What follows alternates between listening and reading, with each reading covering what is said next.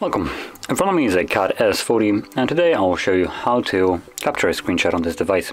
So to get started you want to open up the content that you wish to capture and I'll be using a home screen for this. So once it's open and visible on your screen, simply press the power key and volume down at the same time. You want to hold them.